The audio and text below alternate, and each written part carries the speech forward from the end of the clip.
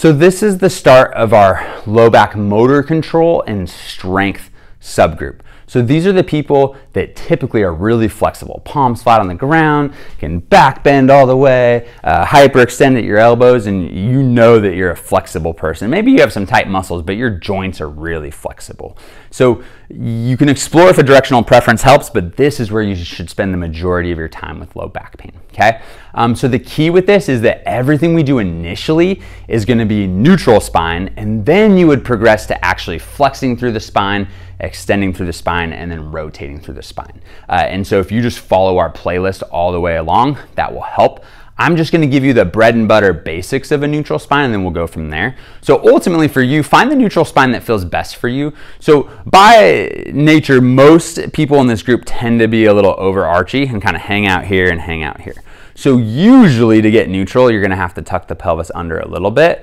Don't necessarily overcompensate and go all the way to the end range. So it's just that little tuck under. Uh, and make sure that your shoulders don't go back. So the, the best way to practice this is just laying on your back and you're gonna have a ton of mobility. And again, one direction might hurt you if your back is flared up. So just to it, but not through it with any pain.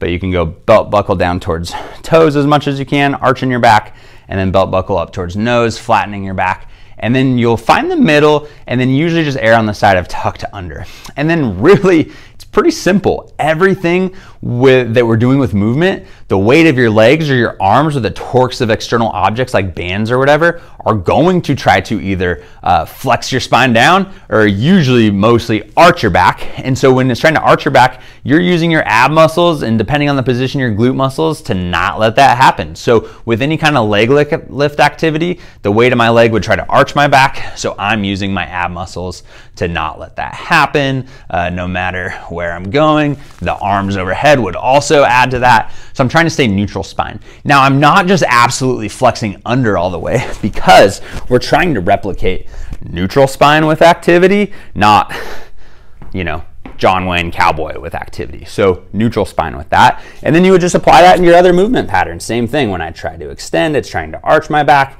I'm using um, my, uh, my ab muscles to not let that happen. Um, the other thing too, when you're switching side to side is we'll get this rotation of the pelvis.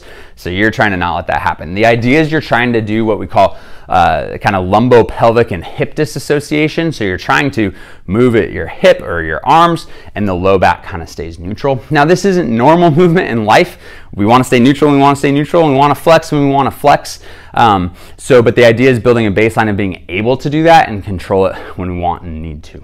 Um, so that's kind of the basics on the neutral spine stuff. Go through our playlist and progress through on your strength challenge yourself more. Once you've made it through the whole neutral spine, then you can progress to actually moving through with some flexion and some extension and some rotation, uh, applying all those concepts. So the goal with this would be that you just feel like you're working your muscles, not flaring up your back pain, uh, and you just get stronger, and that will serve you well long term. So it's great that you're gum being pretty flexible, but let's make sure that we're strong and we can learn to control that as well.